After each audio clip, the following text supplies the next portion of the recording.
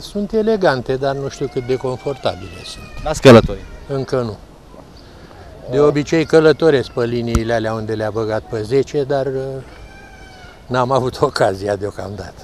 Cel puțin ca aspect e o îmbunătățire. Da, ca aspect uh, par și, par și comode la interior, în sensul că sunt mai înalte, mai, mai aerisite cât de cât. Că autobuzul e mai lejer cu pachete, cu bagaje. În autobuz zici că suntem într-un sicriu. Păi ăștia săraci cum ați ce mai fac? Circulă și ei. Circulă și cu tineret din ăsta, că tineretul spune că nu se urcă între ăsta al anticapaților. Se zice că autobuzul e pentru anticapați. Cine zice, doamnă? Tineretul, elevii.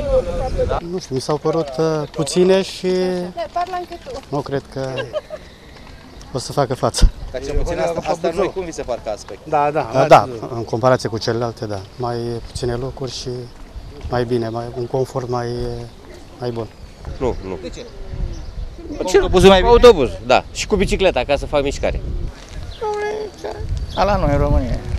Nu circul cu maxi taxi că sunt pensi- pensionar și circul pe bani. Aveți gratuitate? Da. Noile mașini ok, vechile nu. Ați circulat cu ele vreodată? Da, am circulat, dar cu vechile mașini, iarna mor de frig, iarna, vara mor de cald. Că toți pensionari și mergem cu autobuzul. Păi e confortabil cu autobuzul? Da, foarte bine. E mai lejer decât mai lejer în față de maxi maxi taxi. Eu n-am circulat cu ele încă, dar bă, sunt bune, sunt frumoase. Are, sunt confortabile, Cel puțin în privința aspectului arată bine. arată, arată bine. Cu ce preferați să circulați? Cu autobuzul sau cu mașina? Nu, eu circul cu maxi taxi mai mult, că astea mai oprește și pe, mai lasă pe unde e.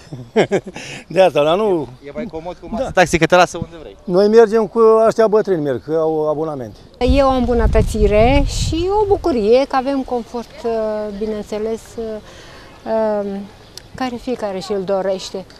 E o îmbunătățire. Cred că sunt necesare niște mașini mai încăpătoare să se poată circula mai uh, confortabil.